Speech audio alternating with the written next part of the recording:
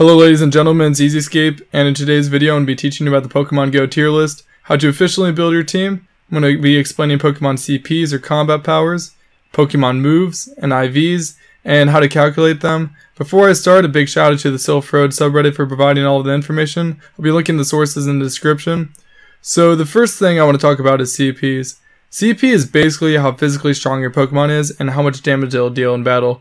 Now, a lot of people playing Pokemon Go think that CP scales with your trainer level, which it does, it, it, which it does, but every Pokemon has a different CP cap than each other, and certain Pokemon power up faster and in larger increments than others. For instance, say you're a level 20 trainer and you have an Onix and a Vaporeon. At the same time that you could be at 1000 CP on your Onix and not be able to power up anymore, you'd also be able to power up to 1500 on your Vaporeon before you weren't able to anymore.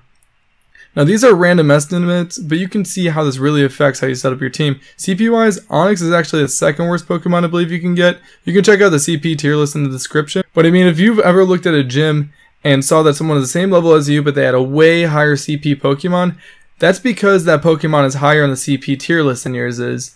Now this doesn't go based on individual Pokemon. It's not like, wow, this Pidgey can get a higher CP than this Pidgey. That's not how it works. You can find a Pidgey at a higher CP, but they can both only power up to the same amount, and another Pokemon would be able to get a higher CP than that.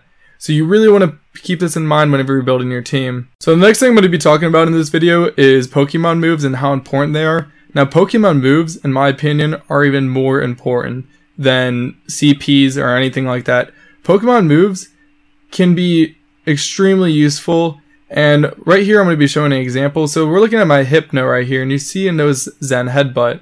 Well, there's also another move it could have learned, which would have been Confusion.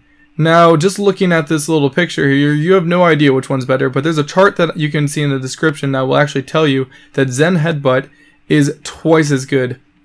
Everything is in everything is in increments of damage per minute, and Zen Headbutt is twice as good as that move right there which is pretty crazy. It's it's just a move, but it, it's able to do twice as much damage. Now, Psyshock really isn't that good. Maybe if I could have had it know the move Psychic, that would have been actually better. But you know, this was about as best as I could find. I have a bunch of Hypnos, and I wasn't able to get one to have Psychic. I was able to get one that has Shadow Ball, but that's wasn't really as good as Psyshock in my opinion. It was good if I was going against other type Pokemon, but you guys kind of get the point.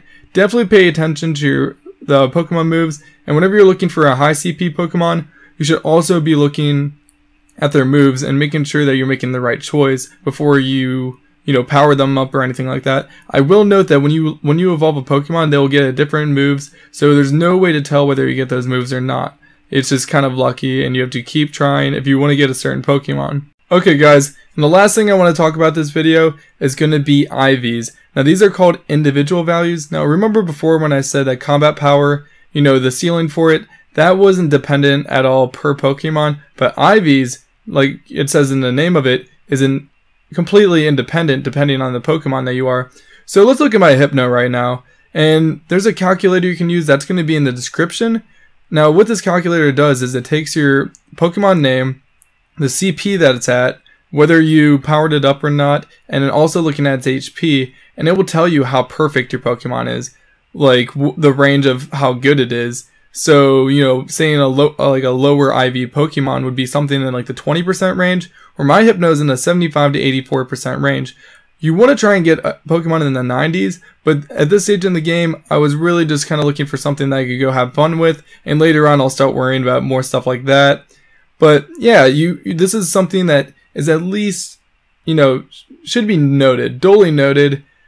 You know, after CPs or ap- after you look at CPs of Pokemon, you know, making sure they're high up in the tier list. That's very important. Making sure that they have good moves, and also not even looking at the CP tier list because I wouldn't use that. I would use this tier list right here that puts everything in consideration. Puts IVs like base IV stats. It puts CP and it puts moves. So like the CP tier list probably says like Dragonite at the moment is uh, the strongest Pokemon, but this tier list says that Snorlax is just based on you know he has really he has a lot of HP, has pretty good damage, has a good move called Lick, which does a lot of damage per minute, and you know he stands his best against a lot of other Pokemon.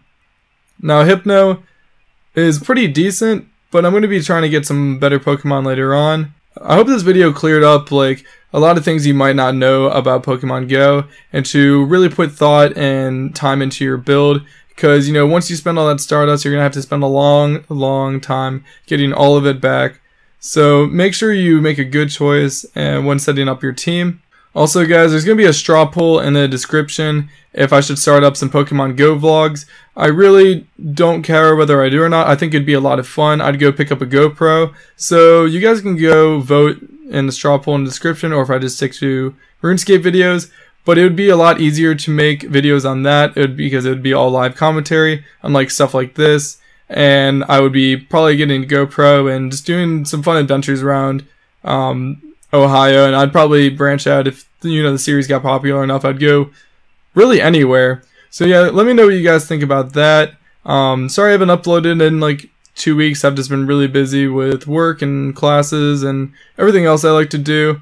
But they'll slowly come and I'll probably start live streaming again soon.